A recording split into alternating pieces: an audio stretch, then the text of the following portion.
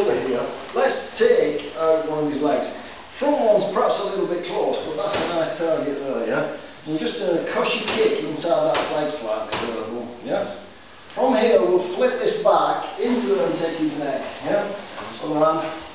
So we'll take that one flick, flip that one. Try and get used to these postures like we just talked about. This, this is this.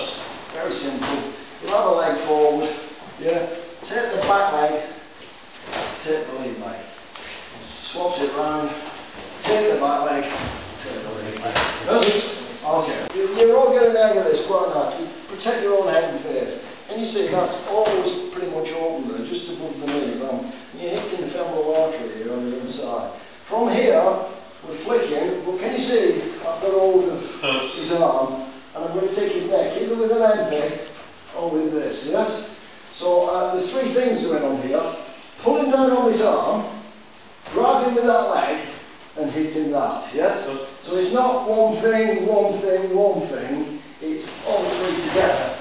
Now look, he lands almost perfectly for me, that's already an arm bar, Steve will tell you, yes? Well, he can now scamper away with that bottom arm.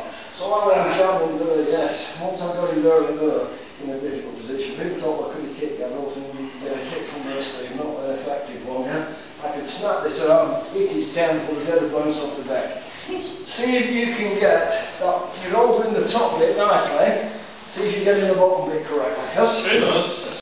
Yeah. So we're covering this, we're watching for our head, yeah? So with this I can stop that, I've got a good chance of stopping that, yes?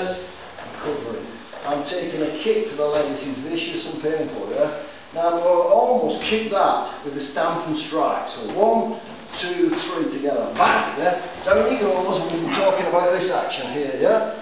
We're going to hit his temple there, and I want you to stamp on his forearm there, smash it, and stamp on that leg. First, and walk away, yeah? This. down that elbow, straight into the neck. Now I'm going to move in and take him back. It's a quite close that elbow. Yeah? You see that? There's his arms there, yeah? Stamp and break that, yes? Chuck this through now. Don't be careful, yeah? Do that. You've broken your arm. Using this, I'm, I've only been careful because when I go back I'll snap his arm. So I'm letting him come up. But can you see this controls the action that Steve's just done? He tries to punch me now. Go. Can you see?